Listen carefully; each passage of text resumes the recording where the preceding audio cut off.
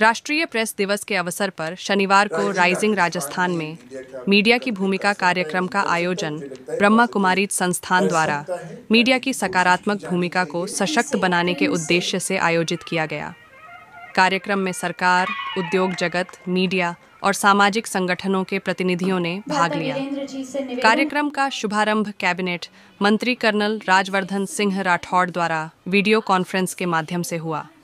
उन्होंने कहा कि मीडिया सरकार और समाज के बीच एक सेतु का कार्य करता है और राइजिंग राजस्थान के निर्माण एवं सफलता में इसकी अहम भूमिका है। उन्होंने युवाओं सहित हर वर्ग के विकास के लिए सरकार की प्रतिबद्धता पर ज़ोर दिया। भाजपा प्रदेशाध्यक्ष मदन राठौर ने अपने संबोधन में कहा कि मीडिया को समाज के समक्ष सरकार के सकारात्मक कार्यों को उजागर करना चाहिए। उन्होंने राइजिंग राजस्थान के निर्माण में मीडिया की भूमिका को सराहा। ब्रह्मा कुमारीज, जयपुर सबजोन प्रभारी राजयोगिनी सुषमा दीदी ने कहा कि मीडिया समाज में नई चेतना लाने का सशक्त माध्यम है। राजयोग के अभ्यास से मीडिया सकारात्मक पहलुओं पर ध्यान केंद्रित कर सकता है और भय के माहौल में समाज को संतुलन प्रदान कर सकता है। पंकज ओझा, अतिरिक्त आयुक्त खाद्य सुरक्षा ने खाद्य सुरक्षा में राजस्थान की प्रगति पर चर्चा करते हुए बताया कि राजस्थान ने राष्ट्रीय स्तर पर 18वें स्थान से छठे स्थान तक की छलांग लगाई है, जिसमें मीडिया की भूमिका सराहनीय रही।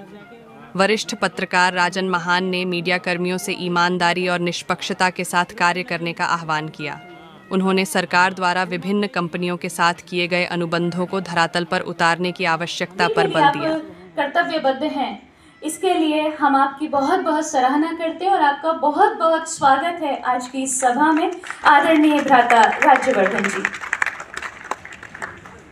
सभी का बहुत बहुत धन्यवाद, आपका आभार इस इंट्रोडक्शन के लिए, इस भूमिका के लिए। राजयोगिनी जी, सुषमा दीदी विराजमान है, मेरा आपको बहुत बहुत प्रणाम। राजन महाजन जी, हरिवल्लभ जी बी के कोमल भाई जी, राजेश अस्तानी जी के चंद्रकला दीदी जी वीरेंद्र सिंह जी जो अभी उनकी बात में सुन रहा था के के शर्मा जी व उपस्थित सभी पत्रकार बंधु जो वहाँ पे मौजूद हैं, मेरी बहनें जो वहाँ पे मौजूद हैं, सबसे पहले तो मैं आपको सभी को बधाई देना चाहूँगा कि ये बहुत ही सोच समझ के जो कार्यक्रम रखा गया, जिसके अंदर पत्रकार जो एक तरह से जागरूक करते हैं पूरे देश को, नागरिकों को, उनकी बहुत बड़ी भूमिका रहती है हमारे देश को आगे बढ़ाने के लिए।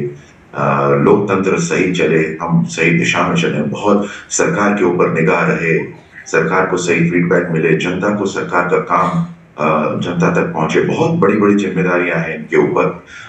और खास तौर से अगर आज जो टेक्नोलॉजी से हम काम कर रहे हैं, उस टेक्नोलॉजी के अंदर और बड़ी ज़िम्मेदारी है पत्रकारों की, ऐसे समय में इतनी बड़ी ज़िम्मेदारी को सही तरह निभा पाए, उसको ध्यान में रखते हुए हमारी बहनों ने ये जो कार्यक्रम रखा है, ये सराहनीय है। मैं इसके लिए ब्रह्म कुमारी आश्रम को बहुत बहुत बधाई देता हूँ, शुभकामनाएँ देता हूँ। बैठे हैं आज, जिन्हें सम्मानित करा जा रहा है, जो आज इस कार्यक्रम को सुन रहे हैं, उन्हें भी मैं बहुत बहुत बधाई देता हूँ।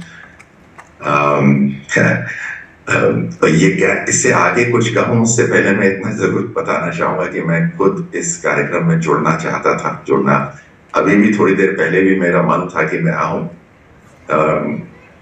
मुझे वायरल हो रखा है और मैं चाहता हूँ कि ऐसे समय में मुझे आवाज़ से आपको लग रहा होगा कि ये शायद समय ठीक नहीं होता कि मैं आप सबके बीच में आता। थोड़ी सी कमज़ोरी भी है बट वो सब ठीक हो जाएगी। खैर, मैं वापस विषय पर आता हूँ। जो पत्रकार बंधु बैठे हैं, जिन्हें सम्मानित करा जा रहा है, देखिए, मैं इन्हें कलम का सिपाही मानता। मैं खुद सेना में रहा हूँ जो सेना का एक बहुत बड़ा रोल रहता है, वैसे ही हमारे पत्रकार बंधुओं का देश निर्माण के लिए बहुत बड़ा योगदान रहता है। इसे मैं और एम्फेसाइज नहीं कर सकता। पत्रकार इतनी बड़ी ज़िम्मेदारी उनके ऊपर जिस माहौल में हम रहते हैं, उस माहौल में रहते हुए भी अपनी कलम से सही इंफॉर्मेशन लोगों तक पहुंचाना समय की आजकल बहुत ज़्यादा वो रहती है क्योंकि टेक्नोलॉजी डिजिटल टेक्नोलॉजी आ गई है। ब्रेकिंग न्यूज़ इतनी ज़्यादा उसकी अहमियत हो गई है। उसके बावजूद भी कुछ नाम ऐसे हैं पत्रकारिता के अंदर कि जब उनका नाम शामिल होता है खबर के साथ में तो उस पढ़ने वालों को ये अंदाज़ा रहता है कि ये दस बार कम से कम इन्होंने सोच समझकर, लोगों से पूछकर सारी इंफॉर्मेशन पता करने के बाद इन्होंने वहाँ पे लिखा होगा। केवल नाम रहना चाहिए और सबका भाव एकात्मता का होना चाहिए, यानी सब बराबर हैं। कानून के सामने सब बराबर ये वाकई में करना निहायत ही ज़रूरी है, ताकि दिमाग में ये नहीं आए कि ये कानून किसने तोड़ा। तो मैं फिर क्या कार्रवाई करूँ? कानून तोड़ा तो फिर कार्रवाई सबके ऊपर बराबर होनी चाहिए। और दूसरा राष्ट्रीयता का भाव। कि हम सबके सबसे पहले राष्ट्र है या राज्य है, जैसे भी मान ले उसको, कि राज्य का मान, सम्मान, प्रतिष्ठा हर व्यक्ति से ऊपर है। तो ये वाला जो भाव है, ये होना बहुत ही ज़रूरी है। तभी हर तरह से हमारी जो सिक्योरिटी फोर्सेस हैं, हमारी जो पुलिस है, वो काम कर पाएगी। और जब कानून के रखवाले कानून तोड़ते हैं तो उन्हें डबल सजा मिलनी चाहिए। क्योंकि उनकी बहुत बड़ी ज़िम्मेदारी हो जाती है। आर्मी के अंदर एक आर्मी एक्ट होता है। यानी जो साधारण नागरिक होते हैं, उससे भी कड़ा कानून सेना का होता है, सैनिकों के लिए। और वो इसीलिए होता है क्योंकि आपके पास ताकत है, आपके पास पावर है। उस पावर का सही इस्तेमाल हो, उसके लिए आपके ऊपर बड़ी ज़िम्मेदारी है। यानी जो वर्दी में होता है, वो कानून नहीं तोड़ सकता। वो कानून का उल्लंघन नहीं कर सकता। ये करना बहुत ज़रूरी है और हम सबके साथ मिलकर करेंगे। वीरेंद्र जी ने एक बात कही थी, हमारे को शुभकामनाएँ दी थी और कहा था कि पत्रकार बंधु हमारे साथ हैं। हमारे साथ होने का ये भी मतलब है कि जब सरकार गलत करे तो सब सरकार को हिदायत अपने लेखों द्वारा दी जाए। हम सही रास्ते पे चले। ये वाला भाव हो पूरे प्रदेश का विकास हो उसके लिए पत्रकार बंधु अपना काम ज़रूर करें। आप सबको बहुत बहुत शुभकामनाएँ। मुझे जुड़ने के लिए जो समय दिया आप सबको बहुत बहुत धन्यवाद। सुषमा दीदी मेरा बहुत बहुत प्रणाम आपका बहुत बहुत धन्यवाद भाई साहब। आपने स्वास्थ्य ठीक ना होने के बावजूद आपने इतना लंबा समय दिया। हम सभी की दुआएँ हैं कि आप बहुत जल्दी या आज ही कहें आप बहुत जल्दी स्वस्थ हो जाएँ। आज ही स्वस्थ हो जाएँ और पुनः हमारे बीच आएँ। हमारी यही शुभकामनाएँ हैं आपके लिए। आपका बहुत बहुत शुक्रिया। धन्यवाद। ओम शांति। मनुष्य का विवेकशील होना ज़रूरी है। कहने में पत्रकारिता है। लेकिन ये पत्रकारिता करने वाले जो भी यहाँ समर्पित होते हैं, इस सेवा के लिए मैं ऐसा मानती हूँ और मैं जो लोगों से मिली हूँ कि आप सब हर प्रकार से बहुत विद्वान, जीवन में अनुभवी भी होते हैं, पढ़ाई लिखाई की तौर से भी आप बहुत आगे होते हैं। तो समाज को एक नई चेतना दे सकते हैं और देते हैं। देश आज़ाद हुआ, महात्मा गांधी जी ने हमारे अखबार निकाले।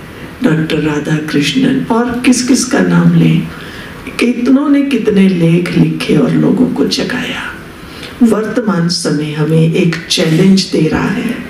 जब केवल भारत नहीं, पूरे विश्व में देखा जाए तो हलचल है। जो भी हम चाह रहे हैं, जैसे आप कहते हैं, किसी भी प्रकार की जो है आपसी प्यार, प्रेम रहे, या हेरा फेरी ना हो, एक दूसरे में सुरक्षा की भावना रहे, इसके लिए क्या चाहिए? सुरक्षा के लिए पैसा नहीं चाहिए, सुरक्षा के लिए पुलिस नहीं चाहिए, सुरक्षा के लिए किसी प्रकार का किला नहीं चाहिए तो क्या चाहिए? सुरक्षा के लिए मन के अंदर शुभ भावना चाहिए। आपने देखे होंगे मंदिर। क्या कभी स्वर्ग के, या आप बताइए राम जी की अयोध्या तो देखी, मंदिर देखे, कहीं ताले लगे हुए देखे? स्वर्ग में कभी ताला नहीं लगता। भारत में अभी भी महाराष्ट्र में एक गाँव है जहाँ ताले नहीं लगते हैं। तो ये तो हमारी भारतीय परंपरा है। हम बहुत ऊँचे देश के रहने वाले हैं तो आवश्यकता है स्थूल भौतिकता की भी ज़रूरत है। उसकी उन्नति तभी होगी जो हम कहते हैं मिलावट ना हो। मिलावट पहले कहाँ होती है? यहाँ होती है। तो आवश्यकता है हम इसको जगाएँ। और उसको जगाने का साधन है साधना मेडिटेशन मैं आपको दो मिनट के लिए लिए ले चलती हूँ। आप जहाँ भी बैठे हैं, थोड़ा सीधा होकर बैठे। चलो, अपने भीतर एक दीप जगाए। मन का दीप, बुद्धि का दीप, मन में शुद्ध संकल्प। हर व्यक्ति सुखी हो। मेरा हर साथी आगे बढ़े। चारों ओर के वातावरण में शांति सौहार्द। अपना पूरा ध्यान मस्तक के बीचों बीच भ्रिकुटी में ले आए। महसूस कीजिए, मैं ज्योति बिंदु आत्मा मस्तक के बीचों बीच विराजमान सर्वशक्तिवान शिव पिता परमात्मा की संतान। सर्वशक्तिवान पिता परमात्मा से अनेक शक्तियाँ वरदान मुझ आत्मा को प्राप्त हो रही हैं। यही शक्तियाँ, यही किरणें, यही भाव और भावनाएँ मैं अपने चारों ओर पूरे समाज में, पूरे देश में, पूरे विश्व में फैला रही विश्व का कल्याण करने की जिम्मेवारी मुझ आत्मा की है। सब सुखी हो, प्रसन्न हो, संतुष्ट हो। और मैं आत्मा सदा सत्य स्वरूप बनकर अपने कार्य क्षेत्र में आगे बढ़ो।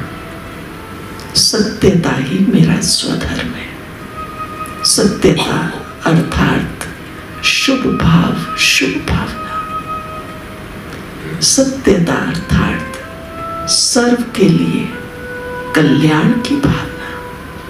सब आगे बढ़े।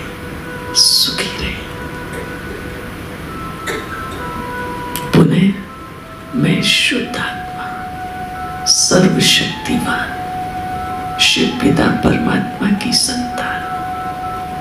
विश्व कल्याण मुझ आत्मा का स्वधर्म है।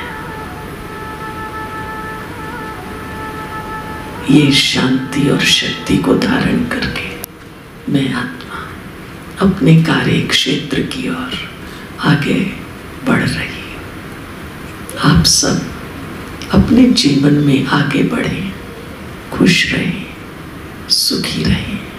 इन्हीं शुभभावनाओं के साथ धन्यवाद। ओम शांति। पत्रकार दिवस भी है प्रेस डे है। और इस दिन को समाचार जगत के समस्त पत्रकारों को सम्मानित किया जाना चाहिए। और इसके लिए जो ब्रह्मा कुमारी ने प्रयास किया है, मैं इनकी बुरी बुरी प्रशंसा करता हूँ। ये काम हम सबका है, हमें करना चाहिए।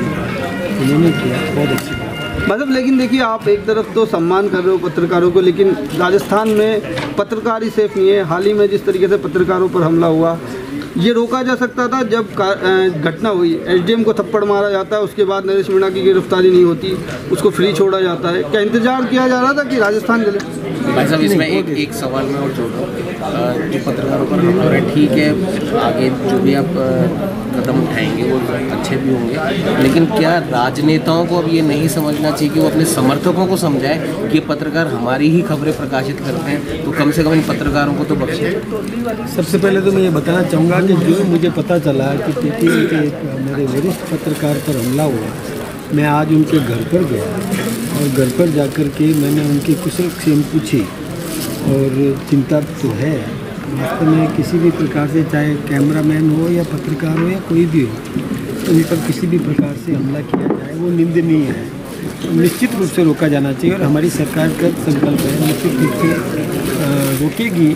भविष्य में इस प्रकार की घटना कभी भी नहीं होने पाए हम इसका पूरा ख्याल रखें।